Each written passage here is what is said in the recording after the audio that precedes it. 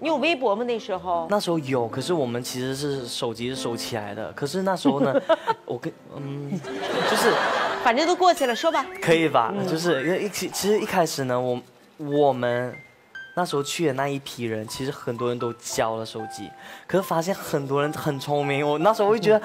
他们自己自己又弄了一个，然后我觉得，哇，我真的太单纯了吧！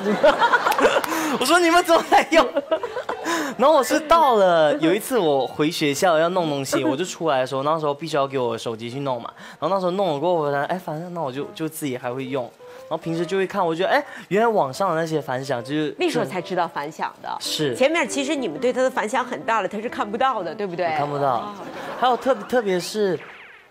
呃，我觉得在里面的时候，我们知道成绩，我们知道自己排名那些，我就觉得，哎，那时候其实第一期刚播出来的时候是哪，然后就是六十七，六十七，其实第一次淘汰就要淘汰到六十个人嘛，所以在淘汰外面，然后慢慢，然后到下一次公布的时候就直接到十几的时候，我就觉得，哎，那是不是这段时间就是观众还是粉丝们就是的那个也也变了一下，然后变了一下，对。精彩尽在本周四晚二十三点三十五，深圳卫视《非常近距离》。